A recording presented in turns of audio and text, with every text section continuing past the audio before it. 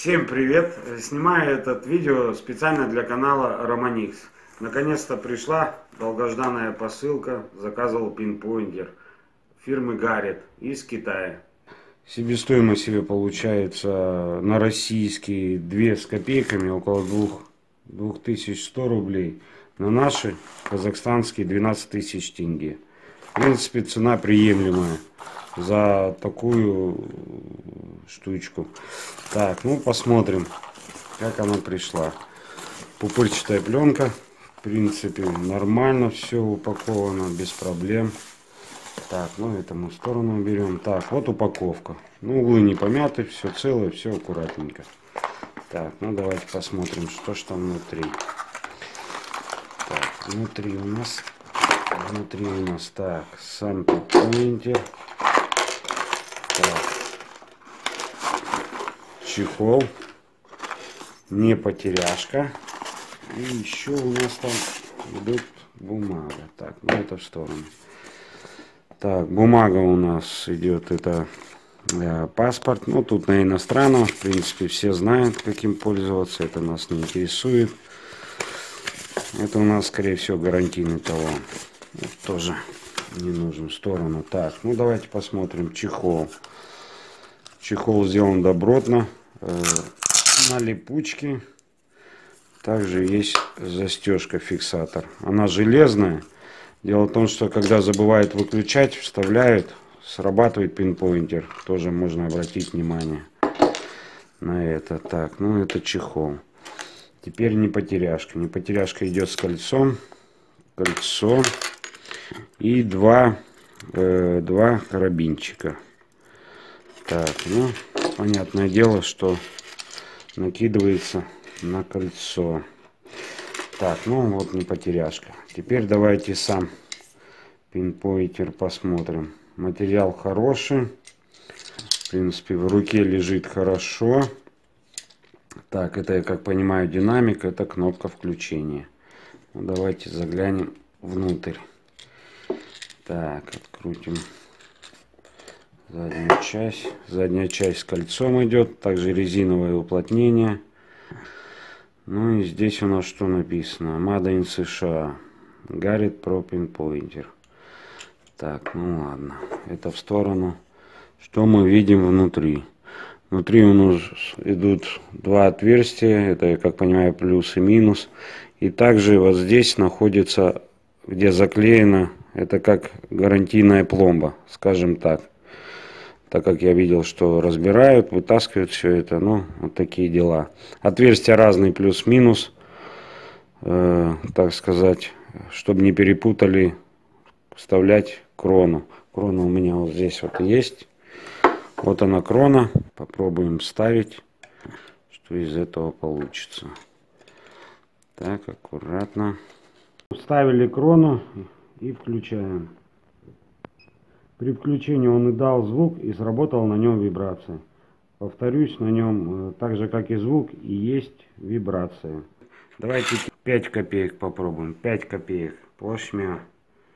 Так, 5 копеек у нас с 81 -го года. Подводим. Вот. Работает в статике, как вы убедились. 4, 4,5, 4,6. Ну, 4,5. Вот так вот работает. Вот так она идет. Ну-ка, с этой стороны тоже так же. И также с этой стороны. Также с этой стороны. То есть работает приблизительно вот по этому. То есть вот здесь вот эта вся часть рабочая. Повторюсь, что в центре чуть есть небольшие потери. Так, 5 копеек мы попробовали. Теперь 15 копеек 82 -го года. 15 копеек 82 -го года. Пробуем. Так, у нас получается где-то 3,2. 3,2.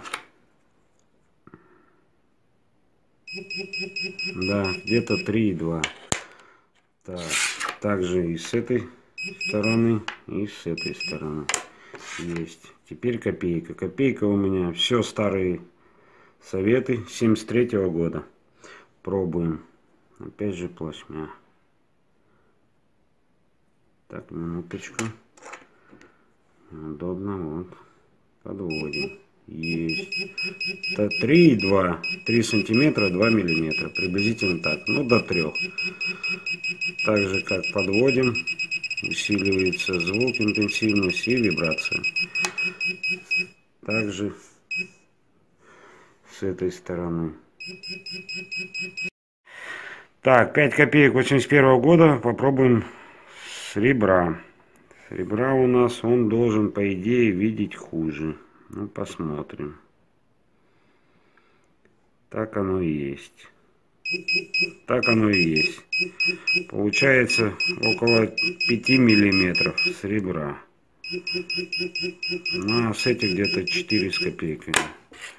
Также попробуем с ребра. Также. С ребра никакой разницы по большому счету нет. Копейка, да. Интересно. Интересно также идет разделение внутри. Здесь видит на расстоянии, а здесь идут потери в расстоянии. То есть получается опять же, как внутри находится катушка. Ну, в общем, такие дела. Также еще можно использовать э, в бытовых целях. Ну, я сейчас вам покажу.